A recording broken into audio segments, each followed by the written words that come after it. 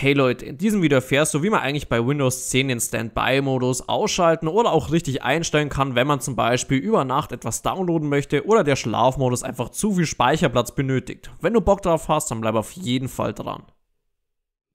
Hierzu müssen wir zuerst einmal hier unten links auf unser Windows-Symbol draufklicken, dann auf die entsprechenden Einstellungen gehen, danach den Reiter System auswählen und dann können wir hier auf der linken Seite jetzt auch noch Netzbetrieb und Energiesparen anklicken und schon sind wir bei unseren entsprechenden Einstellungen. Hier oben können wir entscheiden, wann der Bildschirm sich selber ausschalten soll, entweder im Akkumodus oder im Netzbetrieb. Hier kann man die entsprechenden Zeiten einstellen oder auf nie klicken, also dass er sich nie ausschalten soll. Und hier unten haben wir den Energiesparmodus. Hier wieder das ähnliche Prinzip, einmal hier oben für Akkumodus und hier unten für Netzbetrieb, wann einfach der PC in den Ruhezustand wechseln soll. Auch wieder die entsprechenden Zeiten oder ich wähle einfach nie aus.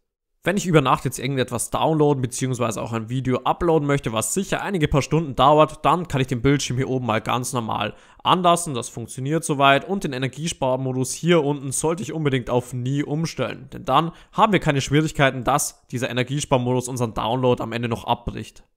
Falls du jetzt jedoch noch den Schlafmodus deaktivieren möchtest, weil dir einfach zu viel Arbeitsspeicher benötigt, dann gibt es hier natürlich auch noch eine Möglichkeit.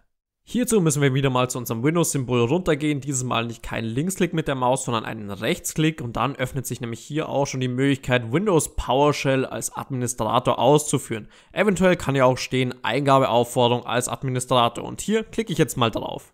Wenn sich unsere PowerShell geöffnet hat, dann gebe ich einfach einmal PowerCFG Leerzeichen minus H Leerzeichen off ein und dann bestätige das Ganze noch bei der Tastatur mit der Enter-Taste. Wir sehen, es passiert eigentlich nichts, da kann man wirklich nichts sehen, aber jetzt hat sich der Energiesparmodus nämlich komplett deaktiviert. Falls ich es mir jetzt aber doch wieder anders überlege und ich möchte das Ganze wieder einschalten, dann erneut Power CFG eingeben, Leerzeichen minus H und dieses Mal nicht off, sondern on und ich kann es wieder mit der Enter-Taste bestätigen.